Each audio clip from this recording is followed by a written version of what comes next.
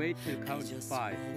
One, one, two, three, four, five.